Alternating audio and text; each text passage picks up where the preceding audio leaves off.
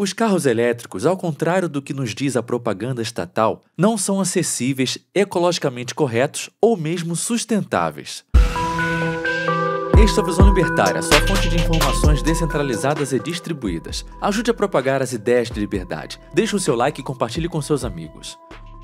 Os carros elétricos se tornaram a mais nova modinha, especialmente para quem pode gastar uma boa grana com um brinquedinho desses.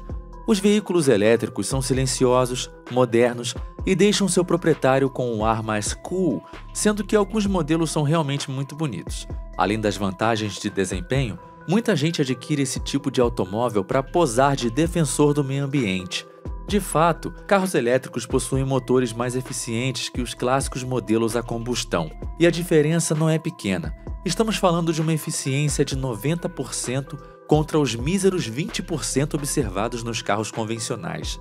Isso se deve ao fato de que motores a combustão perdem a maioria da energia gerada na forma de calor, coisa que acontece em muito menor escala em motores elétricos. Pois é, o risco de fundir o motor em um veículo elétrico é quase inexistente. Contudo, a verdade é que esses carros do momento não são nada acessíveis, especialmente se tratando do Brasil. Os modelos híbridos possuem um preço bastante salgado, mas são os carros 100% elétricos que realmente pesam nesse sentido. Seu custo médio aqui no Brasil é de mais de 400 mil reais. A título de comparação, esse valor é o dobro do preço médio dos carros movidos a combustão. Além disso, a manutenção e o reparo dos veículos elétricos são muito mais caros do que os dos modelos convencionais. Os badalados carros da Tesla, por exemplo, tem um custo de reparo médio de 8 mil reais a mais do que um carro movido a gasolina ou diesel após uma batida.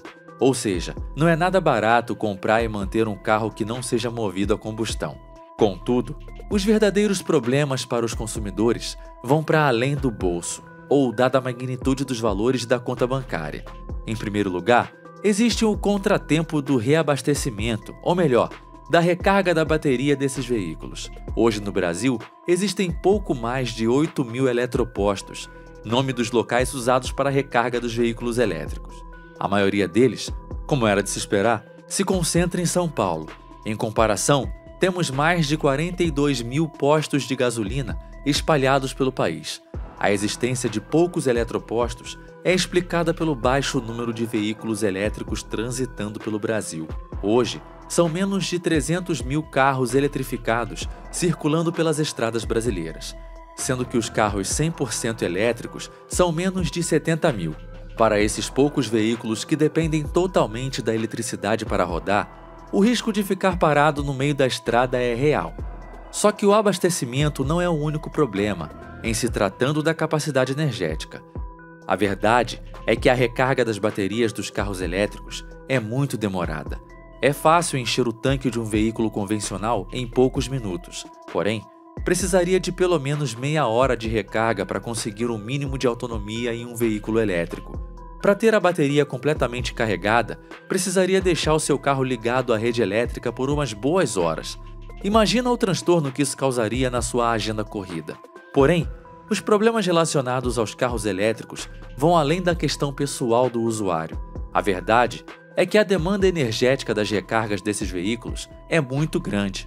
Se em uma cidade como São Paulo todos os carros fossem elétricos e os seus donos resolvessem carregá-los no início da noite, a cidade sofreria um apagão.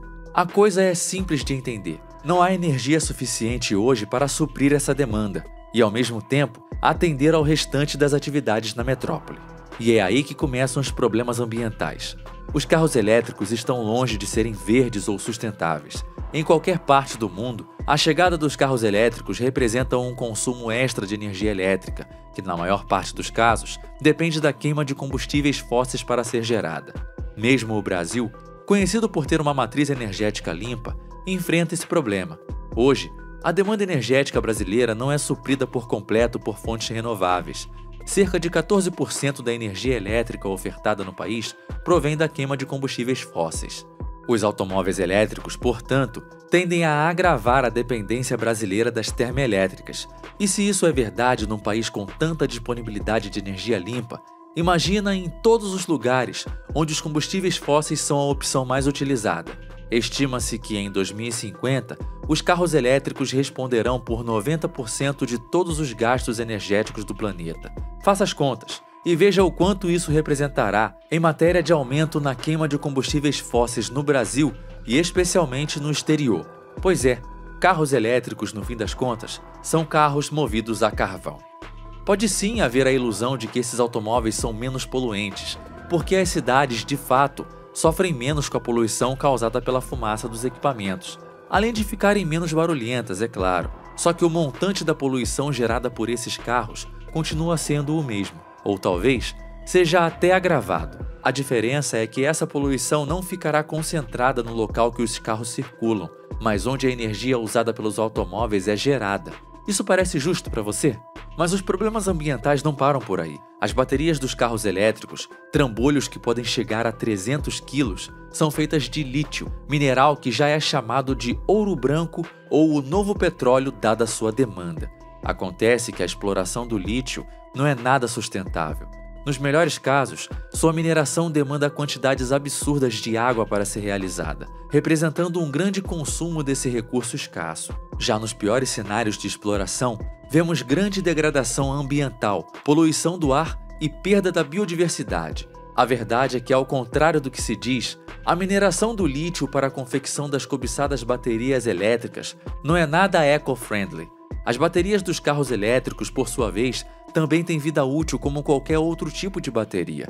No caso, sua vida útil é estimada em algo entre 10 e 15 anos o que significa que ainda não estamos convivendo com a regularidade desse problema. Porém, estima-se que até 2030 o Brasil terá 43 mil toneladas de lixo formado por baterias de carros elétricos, um rejeito altamente tóxico e perigoso para o meio ambiente e para os seres humanos. Agora, já pensou na possibilidade de um carro que não é movido a combustão ser inteiramente consumido por combustão?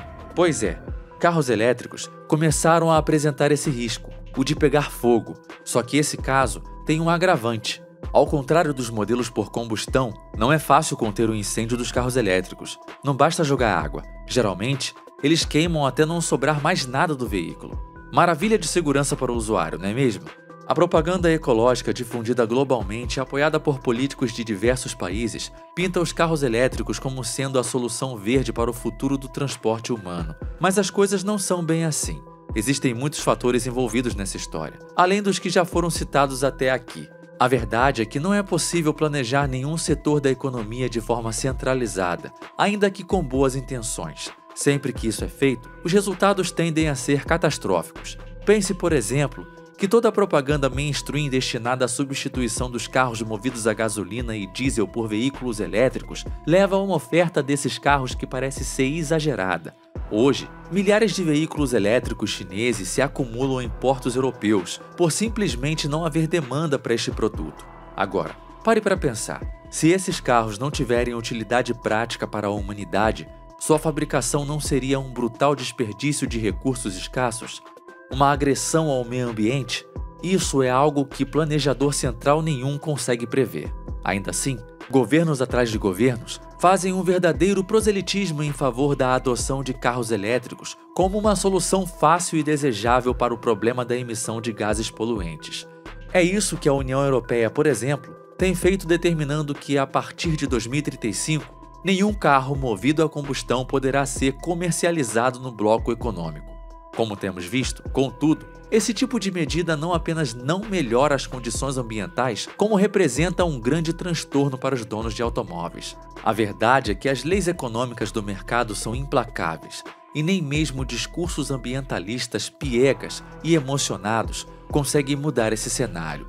Do ponto de vista econômico, não tem mistério. Os carros elétricos são mais caros porque demandam mais recursos para serem produzidos. Sendo mais caros, tendem a ser menos procurados pelos consumidores, especialmente em países pobres como o Brasil. Certo ou errado, ecologicamente correto ou não, é assim que as coisas funcionam na economia. Os desafios do transporte humano, assim como os problemas ambientais, só podem ser resolvidos pelo mercado na livre iniciativa humana e não pelo Estado, mais voltado para o atendimento de vontades políticas do que para a solução desses problemas. Empurrar carros elétricos goela abaixo da população não vai salvar o planeta Terra, podendo até mesmo piorá-lo. nem vai tornar os carros mais acessíveis para os indivíduos. Se um dia esses veículos se tornarem um padrão, o modelo dominante, isso se dará pela escolha das pessoas e não pela vontade dos políticos. No fim das contas, há problemas que simplesmente não possuem solução. Para todos os outros, a resposta certa não está no Estado. Obrigado pela audiência. Este artigo foi sugerido por Aiticutico Aiticutico, escrito por Quintessência, revisado por Coreia Conká e narrado por Leafar. Esse é um canal colaborativo. Um artigo seu pode virar vídeo aqui também, sabia? Basta se cadastrar no nosso site visãolibertaria.com e enviar seus artigos por lá. Não deixe de se inscrever no canal e clicar no botão da campainha para ser avisado de novos vídeos. Um abraço e até a próxima.